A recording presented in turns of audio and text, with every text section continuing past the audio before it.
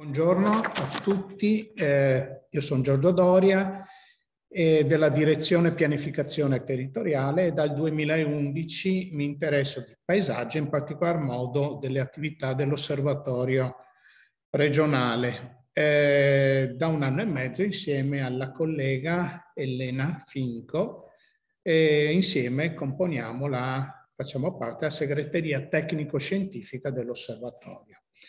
Eh, con la nostra relazione di oggi vi forniremo alcune informazioni di carattere generale sugli osservatori del paesaggio e poi più nel dettaglio altre informazioni sulla struttura organizzativa che ci siamo dati come regione e le principali attività svolte in questi anni nel Veneto dall'osservatorio regionale e dalla rete regionale degli osservatori locali.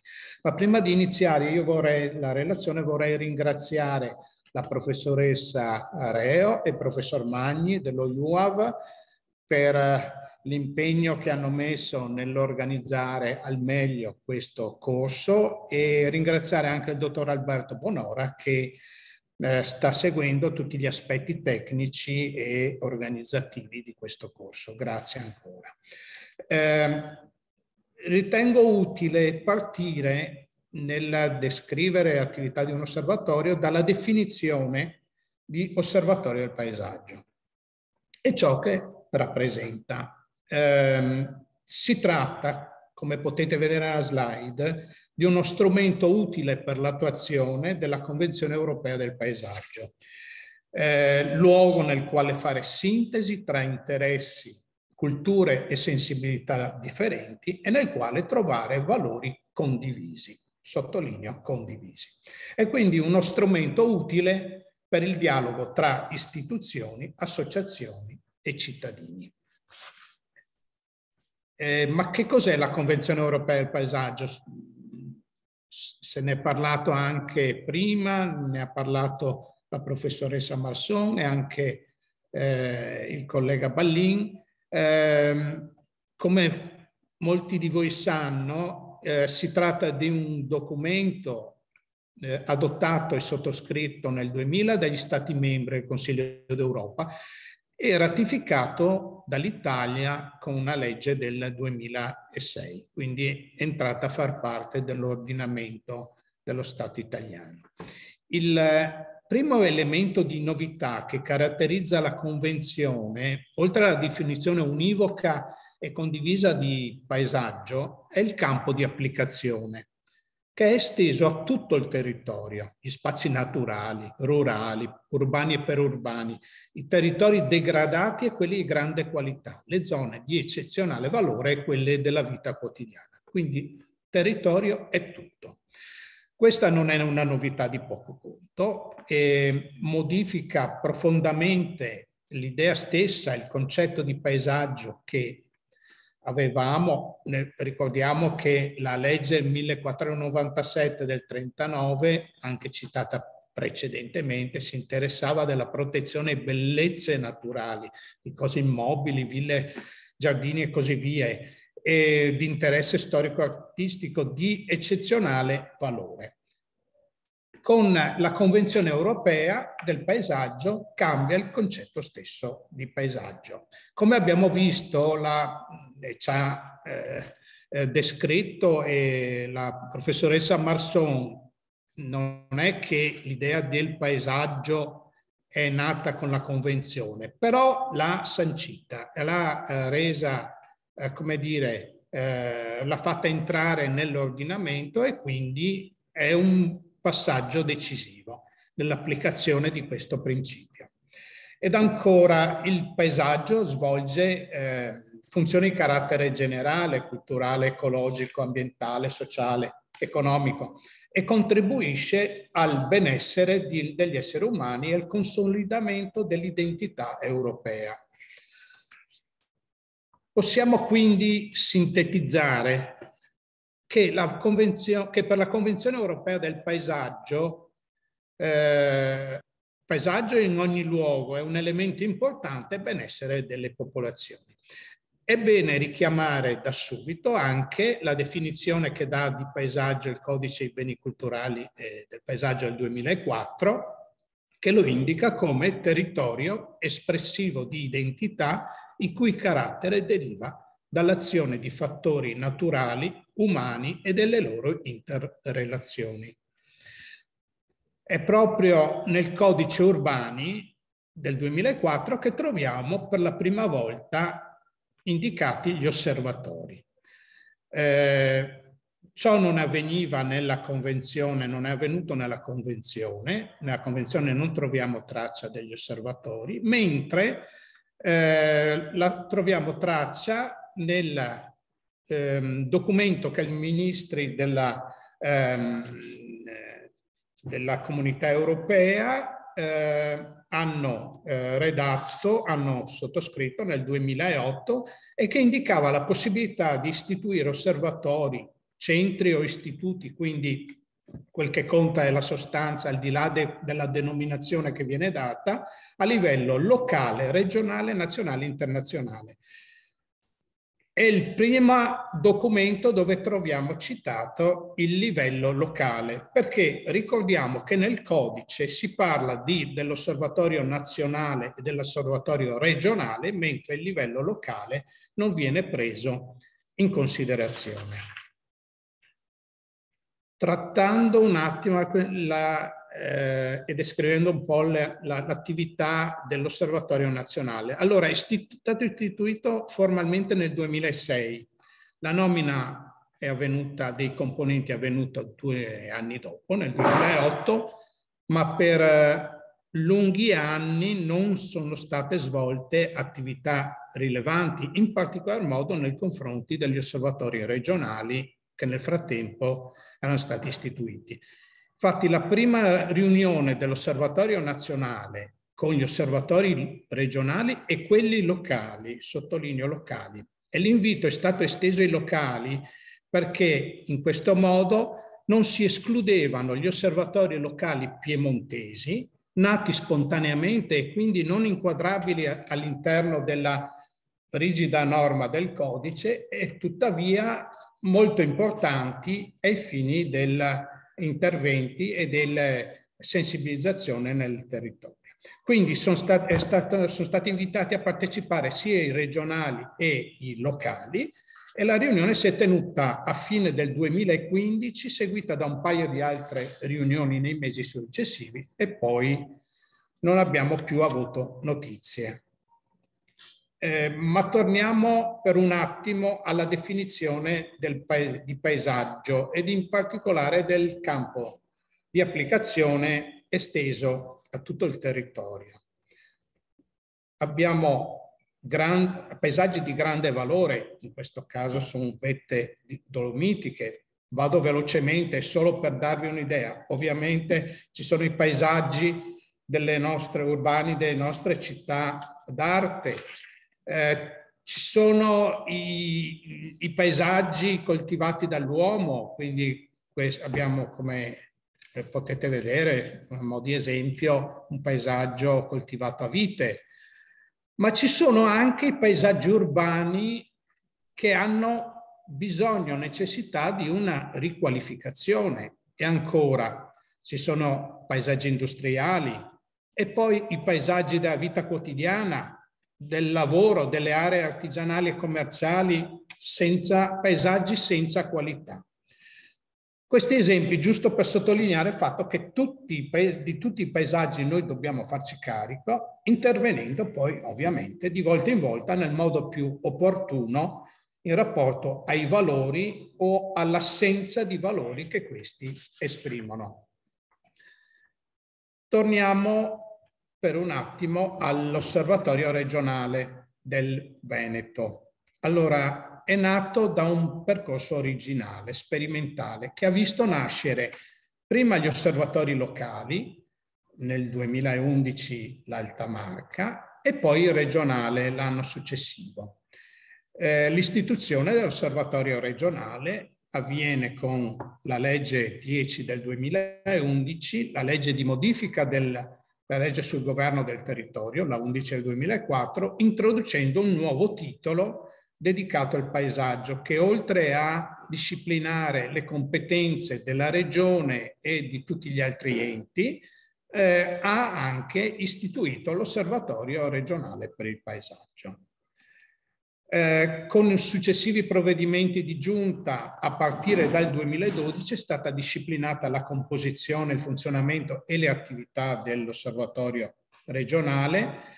Riguardo alle attività, ricordiamo che a novembre del 2011 a Verona erano stati già presentati dieci punti per il manifesto dell'osservatorio e, e, come si è detto, quel giorno è stato formalmente istituito il primo osservatorio locale sperimentale attraverso sottoscrizione di un accordo di collaborazione tra la Regione e il Comune di Pieve di Soligo, che è e continua a essere l'ente capofila dell'osservatorio locale. Qui possiamo vedere il manifesto che è stato presentato quel giorno e che riassume attraverso delle parole chiave evidenziate tutte le attività dell'osservatorio, come potete vedere, ascolto, condivisione, conoscenza, formazione, quella che stiamo facendo oggi e così via fino alla partecipazione. Nel 2012 ha preso avvio la collaborazione importantissima con tutte le università del Veneto, quindi Ca' Foscari e UAV di Venezia, Padova e Verona, e altrettanto importante con il Ministero della Cultura attraverso l'inserimento di una sua rappresentanza in comitato scientifico dell'osservatorio. Nello stesso anno 2012 sono stati attivati ulteriori cinque osservatori locali sperimentali che aggiunti a quello dell'Alta Marca che era stato attivato l'anno precedente, eh, porta a sei il totale degli osservatori locali sperimentali che poi confluiranno nella rete regionale l'anno successivo, nel 2013. Questa è la situazione attuale della rete. Come potete vedere, i 13 osservatori locali sono distribuiti su tutto il territorio regionale, quindi interessano ambiti paesaggistici eh, diversi. E, ehm, va subito precisato che, ahimè, soltanto una metà di questi sono attivi e gli altri, dopo l'adesione, dopo un primo, eh, le prime attività svolte, eh, non hanno più dato segni di vita. Eh, noi ci auguriamo, ovviamente, stiamo lavorando perché queste, anche queste realtà eh, eh, locali si riattivino nel più breve tempo possibile. Ehm, qui vi presentiamo quella che è stata a tutt'oggi la più importante esperienza di attività di un osservatorio locale eh, e che si è svolta nel 2012, quindi nel periodo compreso tra l'istituzione del, dell'osservatorio eh, regionale e la sua effettiva attivazione, quindi tra giugno 2011 e giugno del 2012. Eh, questa attività sperimentale eh, è stata resa possibile eh, grazie all'impegno e collaborazione della comunità montana della, del Brenta e delle due università di Padova e UAV di Venezia.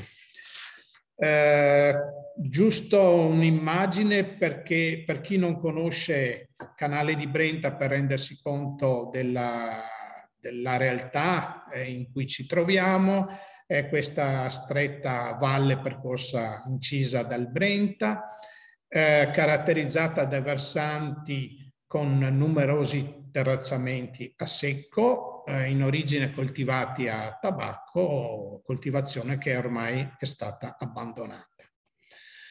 Eh, come si diceva, appunto, nel 2011 sono partite le attività previste dal non ancora osservatorio, perché in realtà stavamo sperimentando le attività, ma l'osservatorio formalmente non c'era ancora.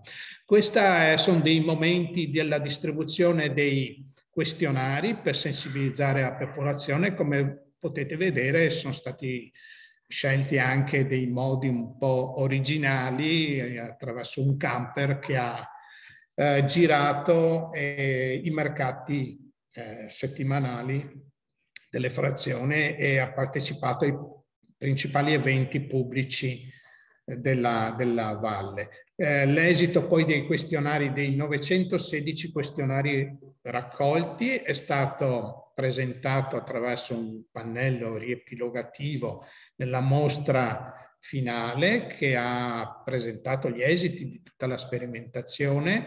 Eh, come potete vedere 916 questionari raccolti non sono pochi una realtà che arriva a, a circa 5.000 abitanti.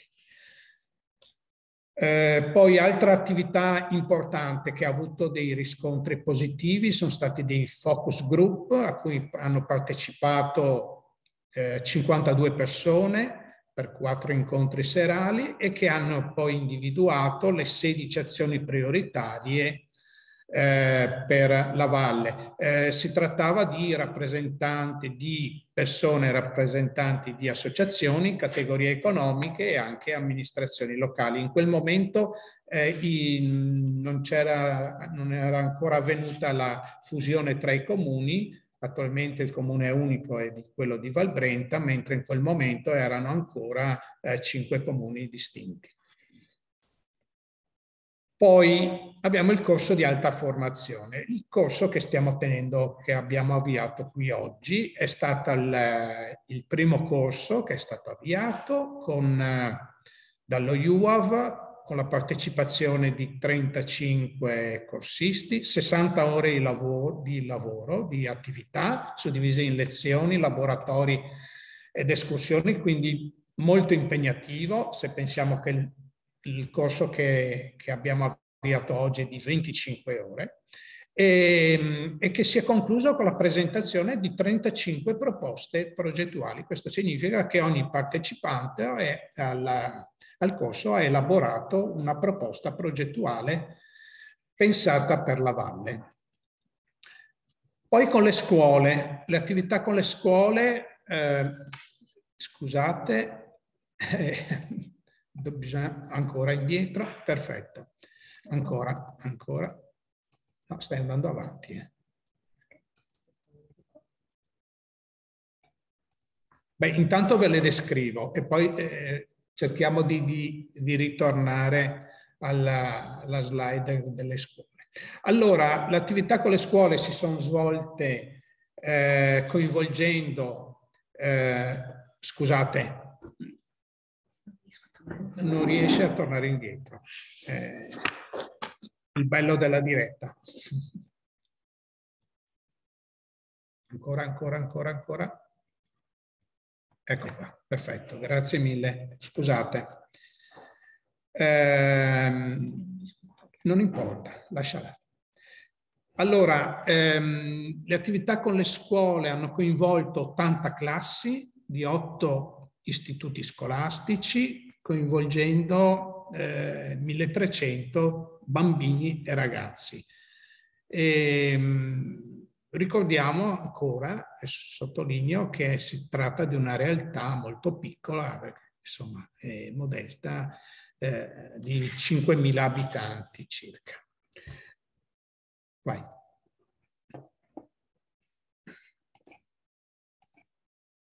Poi c'è stato un concorso fotografico, qui il momento della premiazione, non sto a soffermarmi. Poi questa installazione paesaggistica chiamata eh, fazzoletti di luce, sono dei LED luminosi ehm, alimentati da pannelli fotovoltaici e che hanno partecipato alla campagna del programma radiofonico Caterpillar Mi illumino di meno c'è stata anche un'intervista, il sindaco quindi ha avuto una certa risonanza a livello nazionale.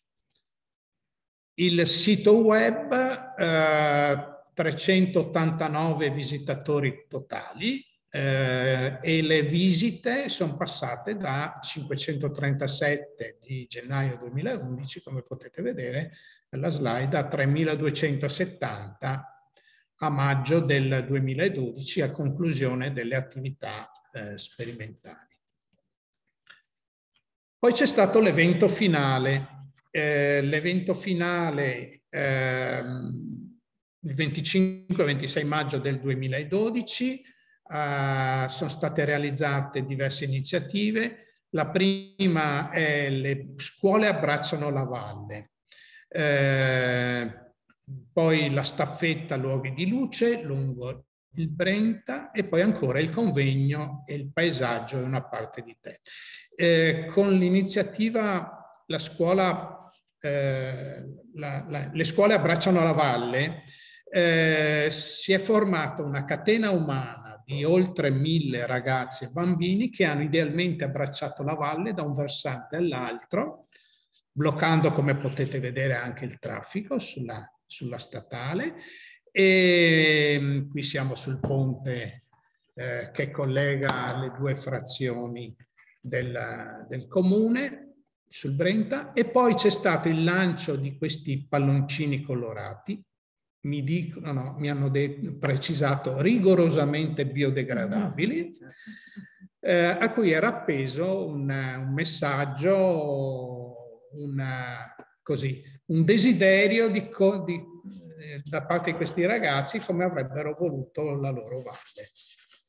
Quindi un pensiero sul paesaggio. Un momento dell'inaugurazione della mostra, vedete alcuni dei pannelli che sono stati realizzati e due delle pubblicazioni che hanno concluso l'attività e che riassumono un po' tutte le attività svolte. Mm.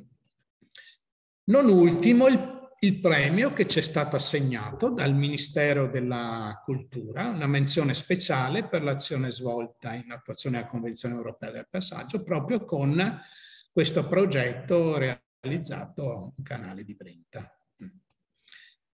Quindi sulla base di queste attività sperimentali svolte a canale e quelle avviate poi anche nel 2011 in Alta Marca, abbiamo deciso di eh, estendere, di am ampliare le attività sperimentali coinvolgendo anche altri osservatori e queste sono le principali tappe. Eh, le, quindi riassumo, nel 2011 l'istituzione dell'osservatorio, nel 2011 sempre l'avvio delle attività sperimentali nel canale Ibrenta, poi nel, a novembre 2011 l'attivazione dell'osservatorio locale dell'Alta Marca, nel 2012 i cinque ulteriori osservatori, l'attivazione, scusate, l'attivazione dell'osservatorio regionale e poi anche mese, i mesi successivi l'attivazione degli altri cinque osservatori locali sperimentali e poi nel 2013 l'istituzione della rete regionale che ha concluso le attività sperimentali. Eh, prima di passare alla descrizione delle attività vorrei ricordarvi che l'articolo 6 della Convenzione europea del paesaggio eh, cita tra le attività da svolgere la formazione e educazione di specialisti e, oltre a prevedere anche altri tipi di formazione, insegnamenti scolastici e universitari. Eh, perché ho citato la Convenzione europea, l'articolo 6? Perché nel decidere quale attività svolgere, mh, mm, con, da quali attività iniziare eh, le, le, le funzioni assegnate al l'osservatorio regionale è stato deciso di eh, privilegiare la formazione, la partecipazione e la sensibilizzazione. Poi come vedremo in seguito sono anche molto altre le attività previste per un osservatorio da qualche parte dovevamo pur cominciare e abbiamo deciso di farlo da quello dove ci sentivamo più attrezzati e più sicuri, avendo alle spalle le quattro università del Veneto che erano in grado di garantire un livello decisamente alto. Ehm, allora, eh, Beh, noi siamo già alla quinta edizione del corso di formazione per tecnici, tecnici sia professionisti che tecnici della pubblica amministrazione e queste attività le abbiamo svolte in collaborazione con eh, le federazioni regionali degli ingegneri, degli architetti e pianificatori, degli agronomi e forestali, dei geologi. Eh, tutte queste attività sono state svolte in stretta collaborazione con le università del Veneto. Eh, qui possiamo, vede possiamo, vedere elencate le, le, le, i, i, momenti in cui sono stati realizzati e i temi che sono stati eh, realizzati. Sono tutte informazioni che trovate, siete in, riusciti a reperire facilmente al nostro sito, al nostro portale, quindi non sto a, a, a dilungarmi. Queste, queste sono due delle pubblicazioni. In queste pubblicazioni mm, eh, dove sono raccolte non solo le lezioni, ma sono raccolti anche i lavori eh, svolti durante i corsi da parte dei partecipanti. C'è una scheda per ognuno dei gruppi di lavoro che era composto da eh, un ingegnere, da un architetto, un pianificatore, un agronomo, forestale, un geologo, un tecnico della pubblica amministrazione. Qualche gruppo fortunato aveva addirittura nel gruppo un funzionario della sovrintendenza e che abbiamo riunito insieme, mi è stato assegnato un tema e hanno realizzato un progetto. È stata un'esperienza apprezzata moltissimo dai, dai partecipanti. Ecco, in questi due volumi che potete scaricare anche questi dal nostro portale in formato PDF, trovate appunto anche queste schede progettuali. Ehm, poi c'è la formazione insegnanti, l'altro ehm, come dire, eh, settore che abbiamo privilegiato, il rapporto con la scuola, l'investimento che abbiamo voluto fare sui cittadini di domani. Ehm, I corsi di formazione sono iniziati già nel 2011 a Canale di Brenta, c'è stata la prima esperienza, poi si sono susseguiti eh, nel corso de degli anni successivi, coinvolgendo gli osservatori locali del paesaggio. È stato, eh, vai pure, eh, qui vediamo una piattaforma dove sono raccolti tutti i lavori che sono stati svolti in quegli anni, è, una, è un, eh, il, il, sito lo potete trovare collegandovi all'Università di Padova. Eh, Prego, questi sono tre degli, degli ambiti paesaggistici analizzati dagli insegnanti. Poi nel 2019 sono iniziati anche ulteriori corsi di formazione, sempre per docenti. Ricordiamo sempre che al corso di formazione per docente seguiva sempre un'attività in classe nell'anno eh, successivo e i risultati venivano, sono sempre stati poi presentati al termine dell'anno scolastico. Ehm, prego.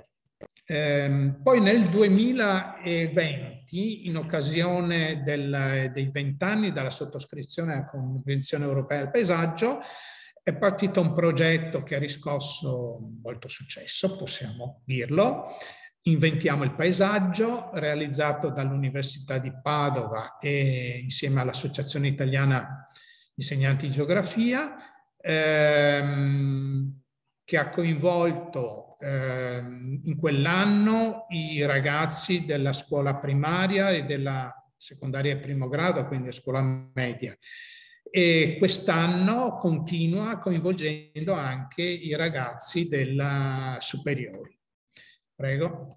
Questa è la copertina dell'Atlante in cui sono state raccolti in uh, i lavori prodotti in uh, questo progetto e che potete anche questo scaricare dal nostro, dal nostro portale.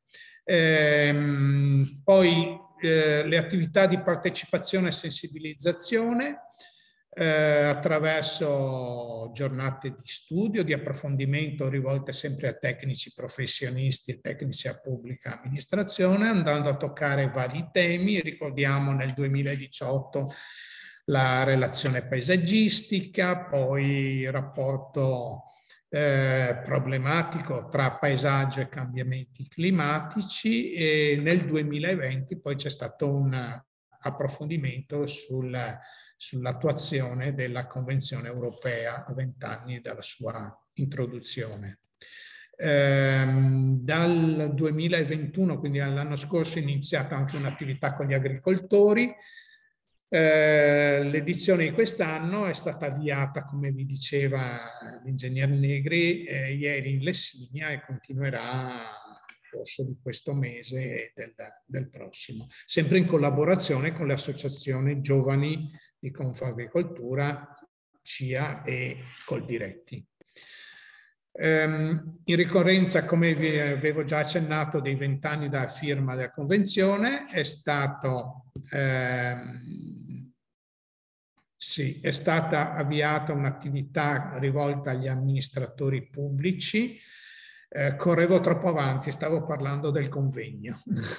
Comunque è stata realizzata eh, questa attività con gli amministratori pubblici, sindaci, vice sindaci, presidenti, e consiglieri, assessori di comuni e province.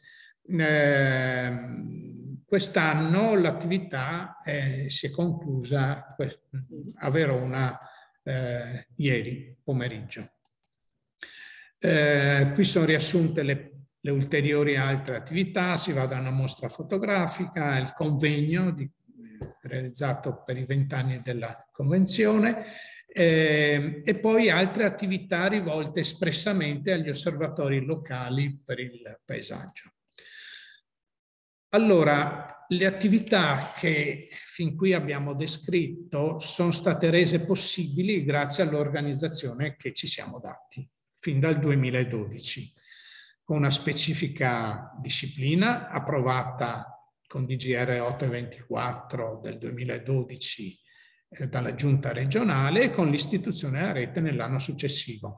A gennaio di quest'anno è stata approvata dalla giunta regionale una nuova disciplina, eh, un'unica disciplina che raccoglie quindi sia quella dell'osservatorio regionale che quella della rete locale, quindi un unico provvedimento eh, raccolte, sono raccolte le, le, due discipline che prima erano distinte. Eh, viene sostanzialmente confermata la struttura organizzativa dell'osservatorio che è costituita dal direttore, dal coordinatore, che avete conosciuto prima, ingegnere Giovanna Negri, dal comitato scientifico e dalla segreteria tecnico-scientifica. Eh, va evidenziato che il direttore dell'osservatorio è il direttore della direzione pianificazione territoriale mentre quello di il ruolo di coordinatore è assunto dal direttore della eh, unità organizzativa pianificazione territoriale strategica e paesaggistica. Eh, confermata anche la rappresentanza regionale, universitaria e ministeriale nel comitato scientifico, quindi abbiamo il direttore, il coordinatore, eh, il direttore della direzione beni e attività culturali e poi le unità organizzative che hanno competenza in materia di paesaggio. Eh, avanti, grazie. Ehm, eh, confermate le rappresentanze anche universitarie del MIC, l'elemento di novità, e non è una novità di poco conto, è rappresentata da un inserimento di un rappresentante degli osservatori locali per il paesaggio. Eh, vorrei sottolineare che il comitato scientifico da sempre è presieduto dal direttore della direzione beni attività culturali e sport. È una scelta molto precisa che è stata fatta fin dall'inizio, fin dalla nascita del, dell'osservatorio e con questa si voleva sottolineare lo stretto legame che lega la cultura al paesaggio.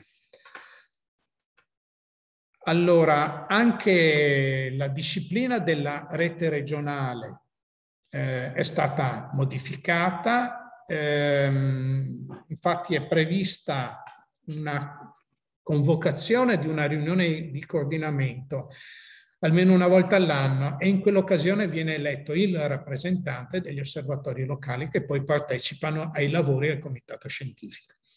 E e altra cosa altrettanto importante, in quell'occasione vengono proposte le attività da svolgere eh, per l'anno successivo. Quindi c'è un maggiore coinvolgimento della rete, degli osservatori locali nei lavori e nelle attività dell'osservatorio regionale. Eh, qui sono elencate le attività previste per l'osservatorio. Eh, non sto a leggervele tutte, sono evidenziate quelle che abbiamo potuto avviare o realizzare in questi anni. Come potete vedere ci sono delle attività molto importanti che ahimè sono rimaste inattuate. Proviamo solo a pensare al monitoraggio e, o altre iniziative quali il recupero e riqualificazione dei paesaggi e ancora eh, la segnalazione di casi rilevanti in occasione del premio del paesaggio del Consiglio d'Europa. Insomma, c'è una serie di attività che intendiamo avviare nei prossimi anni. Eh, in questi anni abbiamo privilegiato la formazione e la sensibilizzazione. Andando avanti dovremo sicuramente affrontare anche a maggior ragione se dovesse eh, ripartire il piano paesaggistico regionale, anche tutta l'attività di monitoraggio. Ehm, ecco, eh, quest'anno, beh, è semplicemente per sottolineare il fatto che eh, abbiamo, eh, come dire, eh, dialogato con molte realtà, quest'anno abbiamo voluto espressamente avviare un dialogo anche con voi colleghi e credo che sia una scelta molto importante. Eh, le criticità sostanzialmente che riguardano la rete. Eh, come si, vi dicevo, come vi accennavo, è l'inattività di una parte degli osservatori locali. Questo è dovuto a una serie di fattori. Eh, teniamo presente che i nostri osservatori locali fanno sempre capo a un uh, ente pubblico, principalmente comune, e capita che col cambio di amministrazione venga meno l'interesse per continuare l'attività. Eh, quindi questo, questo, è uno dei, dei, motivi principali per cui la, i lavori vengono un po' svolti a singhiozzo, per cui finché c'è l'amministrazione motivata e interessata a svolgere l'attività vanno avanti i lavori e poi si ferma. Eh, un altro elemento importante da tenere presente è che va assolutamente coinvolta la realtà locale, quella dell'associazionismo. Non sempre è stata fatta in modo così puntuale e poi non è un elemento di poco conto l'assenza per molti anni di contributi allo svolgimento delle attività. Questa cosa noi l'abbiamo reintrodotta dall'anno scorso eh, credo sia giusto sostenere le attività degli osservatori locali. Eh, vediamo un po' se, se questo sarà, eh, questo contribuirà al riavvio delle attività.